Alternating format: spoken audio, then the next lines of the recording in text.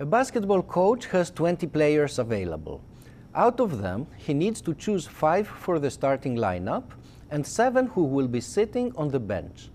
In how many ways can the coach choose these 5 plus 7 players? It is certainly a huge number, but what exactly is it? In this lecture, we will learn how to answer questions of this kind. More abstractly, we will develop methods for counting the number of elements of a given set which is described in some implicit way. Now, why do we care?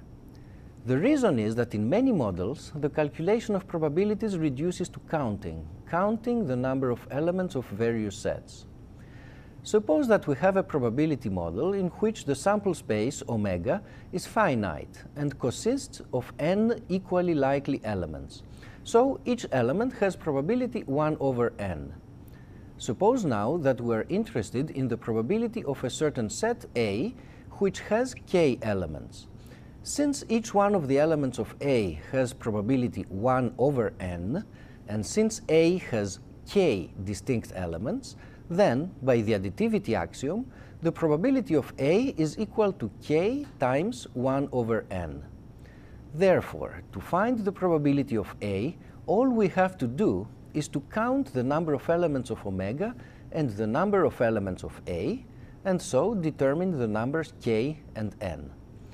Of course, if a set is described explicitly through a list of its elements, then counting is trivial.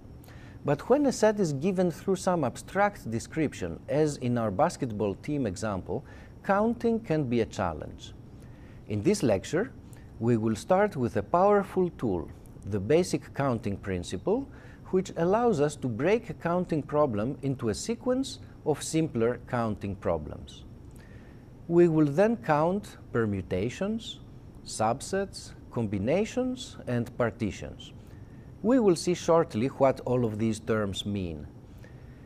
In the process, we will solve a number of example problems, and we will also derive the formula for the binomial probabilities, the probabilities that describe the number of heads in a sequence of independent coin tosses.